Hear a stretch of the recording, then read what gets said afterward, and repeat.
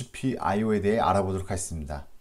예, 두 번째 화면 타이젠 개발자사의 두 번째 화면이고요. 이 주소, 이 화면을 열어주시면 됩니다. 예, GPIO는 예, GPIO API는 IoT 기기에 연결된 GPIO 주변 기기를 제어하는 기능을 제공합니다. 예, 여기서 이 화면을 보시면 GPIO에 대해서 자세히 나와 있는데요. 한번 같이 한번 보도록 하겠습니다. 예, GPIO는 스위치와 같은 이진 입력 주변 기기의 상태를 읽고 판독하고 LED와 같은 이진 binary 출력 주변 기기 상태를 제어하기 위한 프로그램 가능한 인터페이스다 라고 나와 있고요. 여기 보시면 데이터 전송 방향을 설정하기도 하고요. 그리고 또 하강 엣지 또는 상승 edge로 레벨 전환에 의해 신호되는 인터럽트를 감지할 수 있는데 원하는 인터럽트 신호를 감지하려면 적절한 엣지 모드를 설정해 주어야 한다고 나와 있습니다. 그리고 GPIO는 다음과 같은 이제 엣지 모드를 제공한다고 나와 있는데요.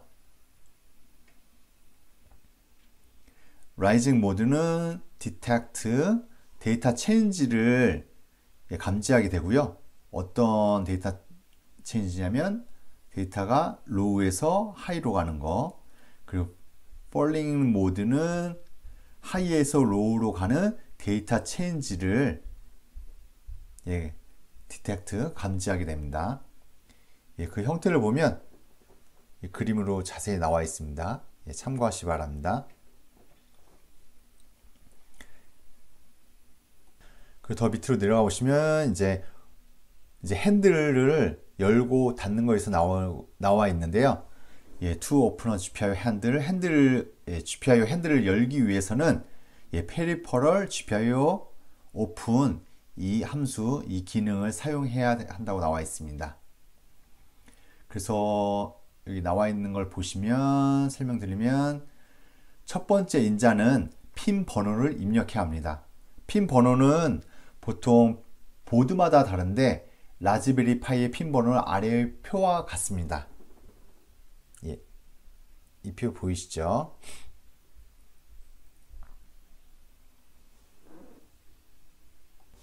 예, 그리고 보시다시피 라즈베리 파이의 경우에는 핀 이름과 핀 번호가 같음을 알 수 있으십니다. 그러므로 GPIO4 GPIO 4 의 핀 번호는 4이고요. 하지만 다른 보드 핀 이름과 핀 번호가 다를 수 있으니 주의하시기 바랍니다. 어쨌든 지금 프로젝트에서는 라즈베리 파이를 사용하고 있으니 핀 번호를 헛갈리지 않고 적을 수 있겠습니다.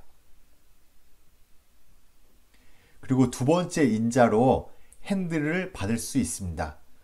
우리가 포인터를 넘겨주면 peripheral GPIO open 함수 내부에서는 해당 포인터 내용을 채워서 전달해 주고 우리는 이 핸들을 사용하여 GPIO를 제어하게 됩니다.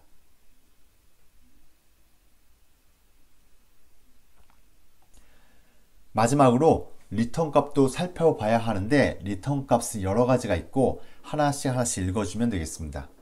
참고로 정상 상황에서는 peripheral error none이라는 리턴을 예, 리턴을 하고 있으니 이 리턴 값을 적극적으로 활용하여 루틴이 정상적으로 실행되었는지 체크할 수 있습니다. 예, 정상 상황에서는 peripheral error none을 리턴하고 있습니다. 그럼 좀 더 코드를 자세히 살펴, 살펴보면 첫 번째 줄이 핀 번호, 예, 두 번째 줄이 핸들, 그리고 세 번째 줄이 오픈을 수행하는 함수입니다. 예, 그럼 밑으로 내려가 보겠습니다. 예, 그리고 이쪽 부분 보시면요. 예, 더 이상, 더 이상 사용하지 않는 GPIO가 있다면 반드시 이 함수를 호출해야 합니다. 예, 그 내용이 여기 나와 있고요. 보통 이제 클로즈를 소홀할 수 있는데 반드시 잊지 않고 닫아야 합니다. 그 이유는 클로즈를 해야 제대로 자원을 정리할 수 있고 자원을 제대로 정리해야 차후에 다시 사용할 수 있습니다.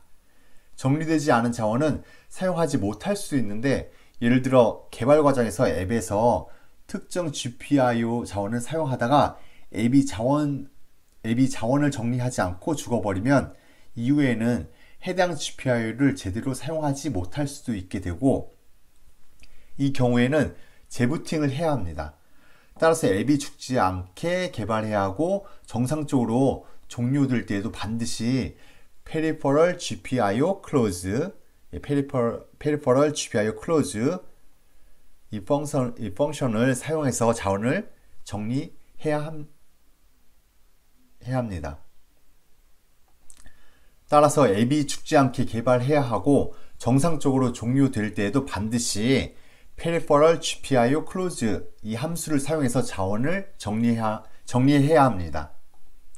그리고 예, Setting the Data Direction, 데이터 방향 설정에 대해서 나오는데 데이터 방향을 설정하기 위해서는 예, Peripheral GPIO Set Direction 이 함수를 사용해야 한다고 나와 있습니다. 그리고 이 함수를 사용할 때는 예, 다음과 같은 형태의 세 가지 값을 입력할 수 있습니다. 첫 번째 인자는 핸들, 그리고 위에 peripheral GPIO open 함수에서 생성한 바로 그 핸들을 말하는 것입니다. 왜 out은 초기 값이 high와 low로 나누어져 있을까? out을 설정한다는 것의 의미는 이 세 가지 값 direction 타입을 자세히 보시면 예, 특히 out, 이 out 부분 보시면요. 초기 값이 high와 low로 나누어져 있습니다. 그럼 왜 out은 초기 값이 high와 low로 나누어져 있을까 이렇게 의문을 가질 수 있으신데요. out을 설정한다는 것의 의미는 라즈베리 파이에서 센서 등의 데이터를 전달한다는 것입니다. 따라서 초기 값을 지정해 주지 않으면 0 혹은 1, 둘 중에 어느 값인지 알 수 없는 3 값이 갈 수 있기 때문에 high 혹은 low 예, 이것으로 지정해 줍니다.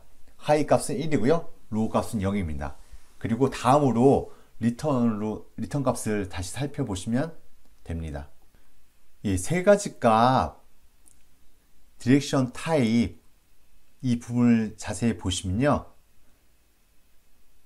예, 특히 out을 보시면 out의 초기 값이 high와 low로 이렇게 나누어져 있습니다. 그 이유는 out을 설정한다는 것의 의미는 라즈베리 파이에서 센서 등의 데이터를 전달한다는 것입니다. 따라서 초기 값을 지정해 주지 않으면 0 혹은 1, 둘 중 어느 값인지 알 수 없는 쓰레기 값이 갈 수 있기 때문에 원의 1에 어, 해당하는 high 혹은 0에, 0에 해당하는 low를 지정해야 합니다. 그리고 다음으로 리턴 값을 다시 살펴보시면 되겠습니다. 1에 해당하는 high와 혹은 0에 해당하는 low를 지정합니다. 그리고 다음으로 리턴 값을 다시 살펴보시면 됩니다. 그리고 밑으로 더 내려가 보겠습니다. 내려가 보시면 엣지 모드를 설정하는 방법에 대해서 나와 있습니다. 엣지 모드를 설정하기 위해서는 예, peripheral GPIO set edge mode 이 함수 이 펑션을 사용하게 해야 하는데 다음에 following 엣지 모드 타입이 있습니다. 엣지 모드 타입 중에 하나를 선택하셔서 사용하시면 되겠습니다. 첫 번째 인자는 핸들이고 위에 peripheral GPIO open 예, 그 함수에서 생성한 바로 그 핸들입니다. 두 번째 인자는 엣지 모드. 여기서는 네, 가, 네 가지 값을 입력할 수 있습니다.